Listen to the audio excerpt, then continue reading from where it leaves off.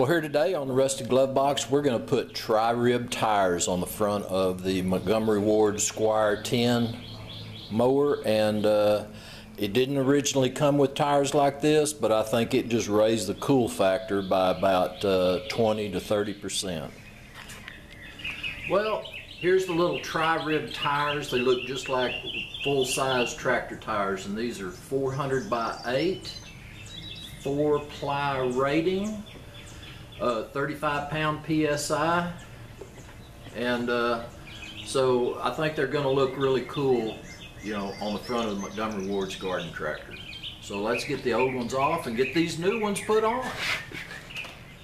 Well, I got my new tire mounted and uh, just to me the visual is is worth the, the expense and the trouble to get this narrower tire to uh, mount up on this wheel. And, uh, you know, this tractor did not come with this type tire. It didn't even come with the tractor lugs that I put on the back, but I just thought it looked more appropriate and uh, looked more fun. So anyway, I've got one mounted up. Going to start on the next one. On the mounting and all that, uh, I kind of keep that to myself because I want to keep this a G rating on the film. Uh, but anyway, pretty happy with this so far.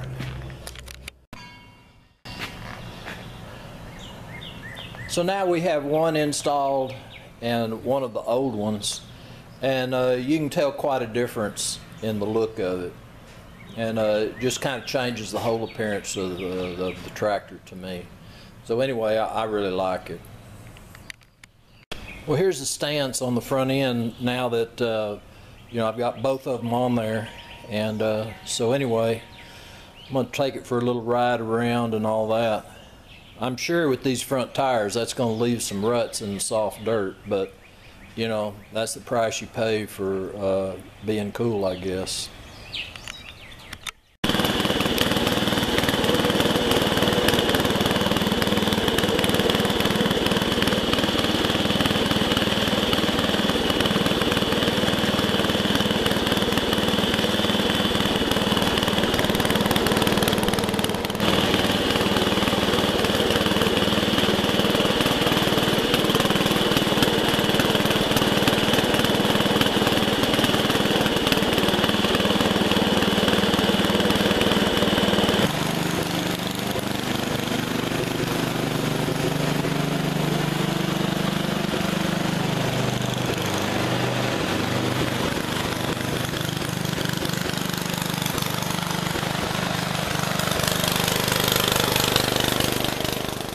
Well, thanks for coming along and uh, seeing what the old Montgomery Ward Squire 10 looks like with the tri-rib front tires on it.